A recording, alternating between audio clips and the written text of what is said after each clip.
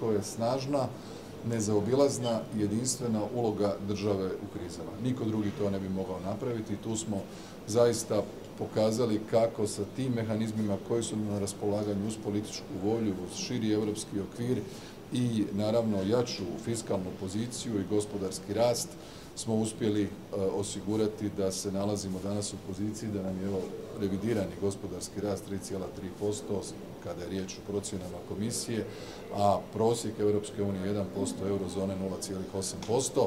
Sve to obvezuje, činit ćemo sve što možemo. Osobno drago mi je da smo došli i do ove faze, ali to obvezuje za danji rad.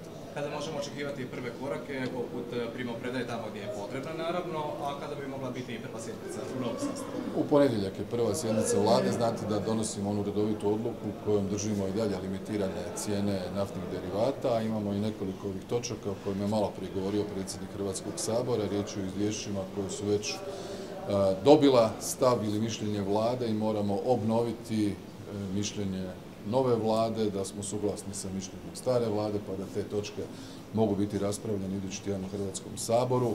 Što se tiče primopredaje, najveći broj ministara nema tu, tu situaciju jer su gotovo svi ostali, a, a novih troje četvero ministara će to napraviti u najskorijem roku. Hoće li to biti preko vikenda ili u ponedjeljak, ja im puštam tu da se E, dogovore, možda se svi malo žele i odmoriti, neće se ništa dramatično dogoditi do, do ponedjeljka, ali u ponedjeljak će biti sigurno. Što se iskustvo naučilo ova dva mandata, što planirate primijeniti u trećem?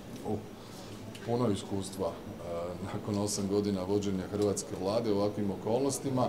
Pa ja ću zaista pokušati napraviti iskorake da u ovom trećem mandatu, kad već nismo uspjeli u drugom, ipak uspostavimo jedan pristojan dijalog i sa čelnicima oporbe, dakle ono što sam kazao danas, to ćemo pokušati učiniti, pozivi će uslijediti.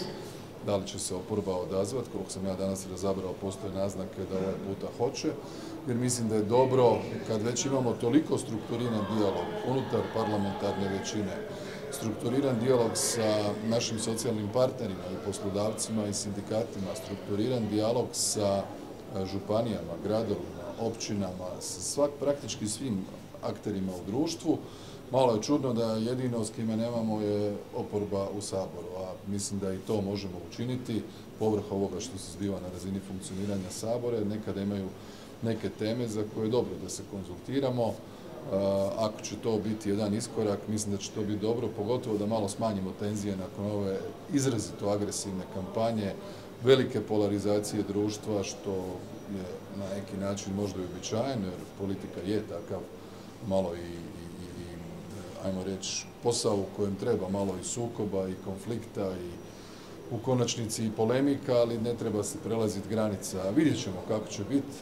Današnja rasprava mi je još nedovoljno indikativna, hoće li to biti malo pristojnije nego što je bilo ovih zadnjih godina ili će biti malo mekše. E, pustimo to u sljedećim tjednima da vidimo kako će se stvari razvijati. Čuli smo danas gospodina Pupovca u izlaganju u ime kluba zastupnika SDSS-a da oni će zapravo biti